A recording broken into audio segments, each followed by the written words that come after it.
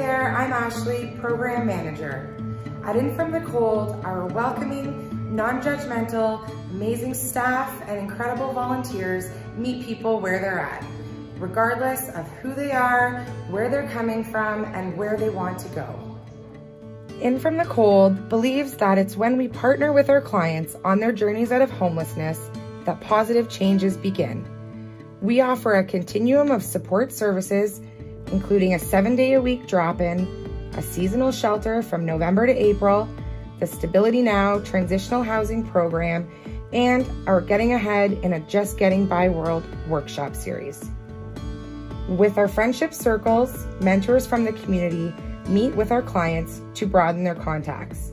We've also recently introduced a new social enterprise called the In Team, where our clients work for pay, getting back on their feet, and supplementing their low incomes, often making the difference between being homeless and being housed.